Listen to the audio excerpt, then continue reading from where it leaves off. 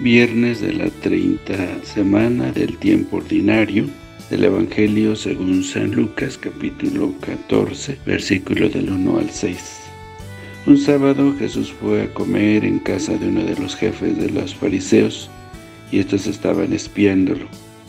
Había allí frente a él un enfermo de hidropesía y Jesús dirigiéndose a los escribas y fariseos les preguntó ¿Está permitido curar en sábado o no? Ellos se quedaron callados. Entonces Jesús tocó con la mano al enfermo, lo curó y le dijo que se fuera. Y dirigiéndose a ellos les preguntó, si alguno de ustedes se le cae en un pozo su burra o su buey, ¿no lo saca enseguida aunque sea sábado? Y ellos no supieron qué contestarle. Palabra del Señor. Gloria a ti, Señor Jesús. Tenemos otra curación en sábado. El lunes pasado leíamos una que hizo Jesús con la mujer encorvada.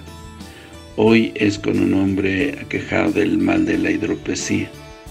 El centro de este relato no es la curación del hidrópico, sino la presentación de las diferencias que caracterizan a la religiosidad de los integristas frente a la religiosidad de Jesús.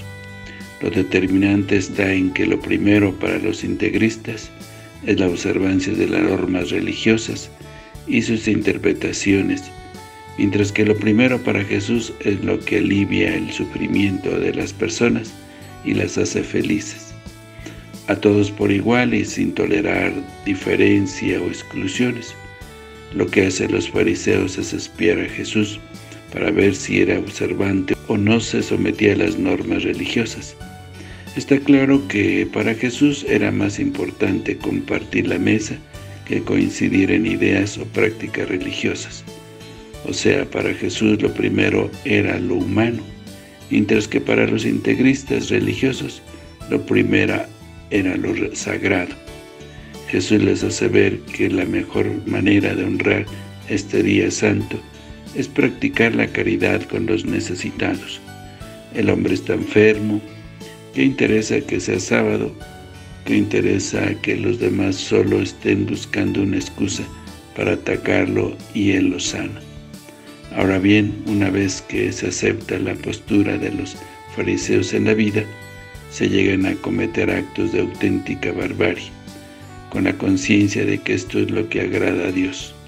Por eso Jesús les echa en cara que son capaces de cuidar mejor a un burro o a, su, a un buey que un ser humano enfermo. Tenemos que ser humanos, solo así podremos ser fieles a Dios.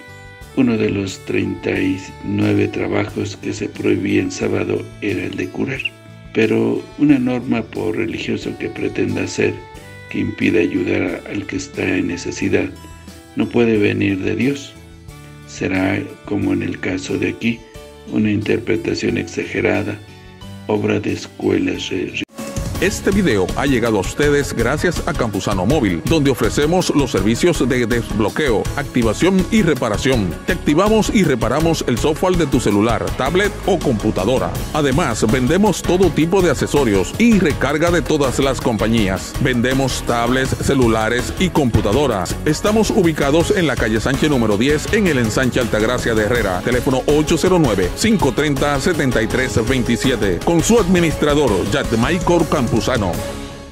Rigoristas. ¿Qué excusas ponemos nosotros para no salir de nuestros horarios en, en ayudar, en ayuda del hermano y tranquilizar así nuestra conciencia? La oración, el trabajo, el derecho al descanso. Sabemos que el domingo es día del culto a Dios, de agradecimiento por sus grandes dones de la creación y de la, resurrección de Jesús. Todo lo que hagamos para mejorar la calidad de nuestra Eucaristía Dominical y para dar a esta, jornada un contenido de oración y de descanso pascual está bien. Pero hay otro aspecto del domingo que también pertenece a la celebración de honor del resucitado.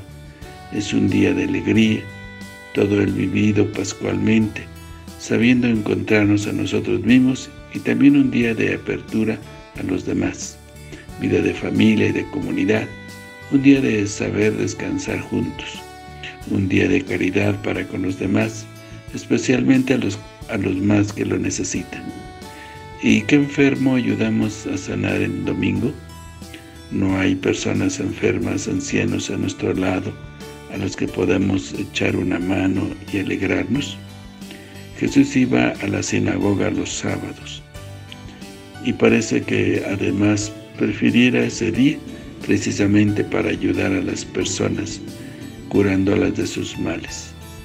Sus discípulos conjugaron las dos cosas. Que el Señor los bendiga.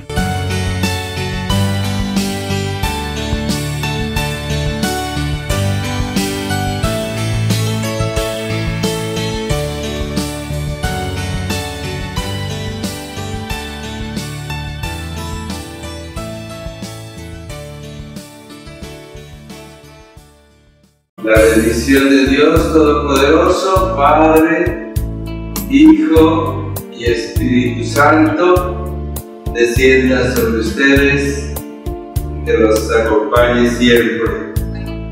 Que el Señor los bendiga.